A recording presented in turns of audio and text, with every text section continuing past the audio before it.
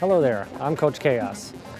I am the line coach and also the athletic director for the Stateline Roller Derby Divas.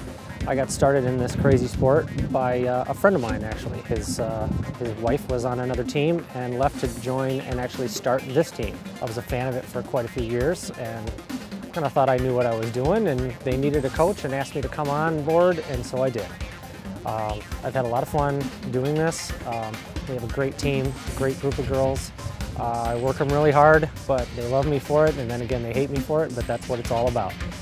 Um, roller derby really is more than just a sport. It looks like um, a lot of really strange things happening all at once, but putting all of that aside, derby is more than that. It is a sisterhood. There is a serious amount of camaraderie out there, not only within this team, but in teams around the nation.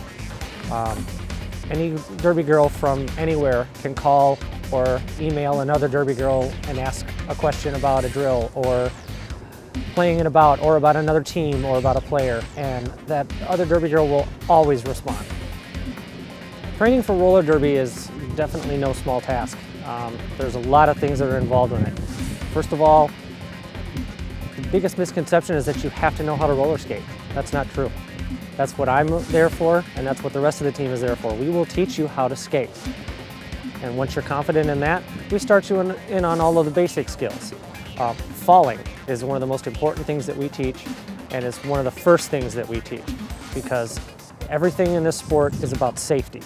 And that is my biggest concern, is that everybody that goes out onto that track at all times is going to skate safe and skate fair and be able to step off that track the exact same way that they stepped onto it.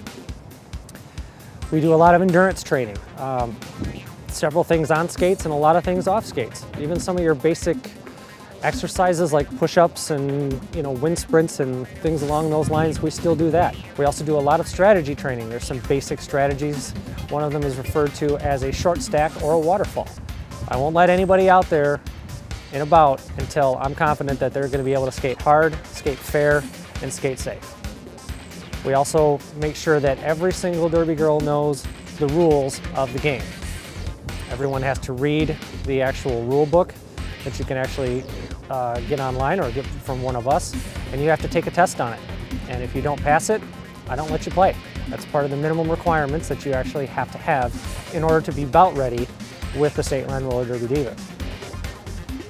And our referees are also involved in the training. Uh, I make sure that they are constantly showing the girls what the signs for penalties are for so that they know if they get called for a penalty, which we hope never happens, but it does from time to time, but that's okay. As long as they know what that penalty is for and why they're going to the box, that saves just a lot of time and a lot of questions later on. I'd like you to meet a few of my veterans. Hi, I'm Hot Headed Hussy, number 28. I'm Sookie Smackhouse, number 999. I'm Betty Boomstick, number 35. Hot pepper on steak, number 68. Hi, I'm the Warrior 217, president of the Stateline Roller Derby Divas, women's flat track roller derby team. Our league was founded in 2007 in Beloit, Wisconsin. The league has grown in the last three years. We have 39 active skaters, but we want you. Are you tired of being a housewife or wrapped in your career? Come on down to the skating station on 1230 Inman Parkway Come on down and join the Divas on Sundays from 5.30 to 7.30 and Tuesdays and Thursdays from 6.30 to 8.30. Bring your skates and we'll see you there.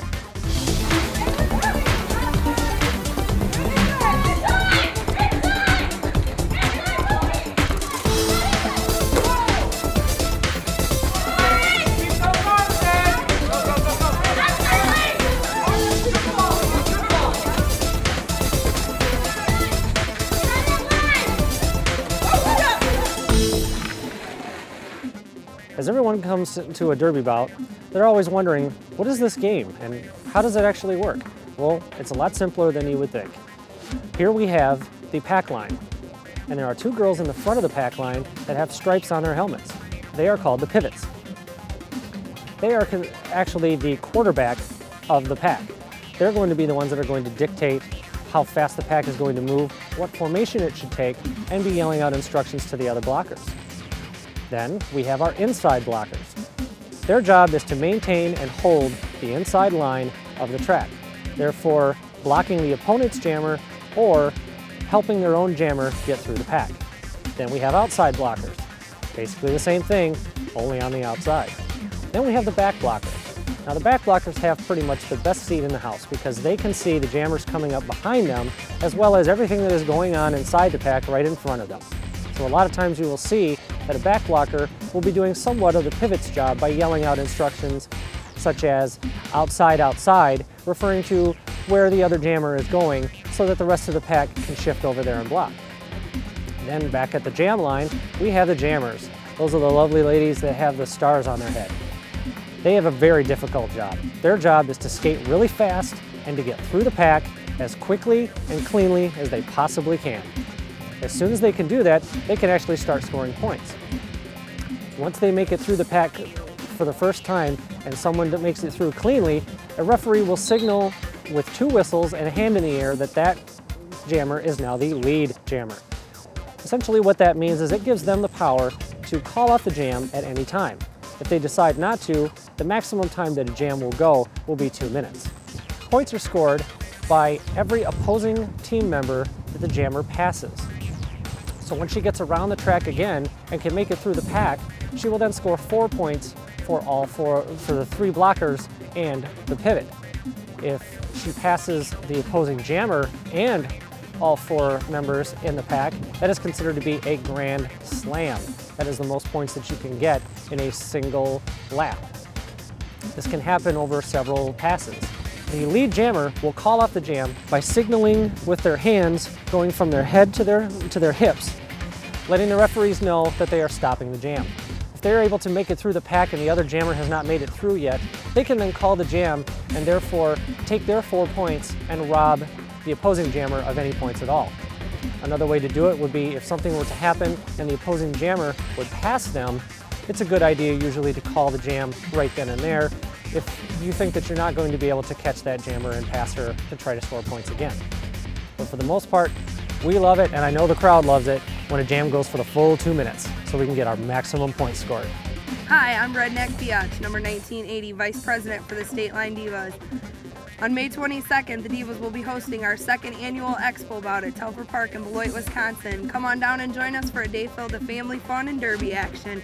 We will be inviting girls from all over the area to come join us in this Expo Bout with three games of derby action and four teams.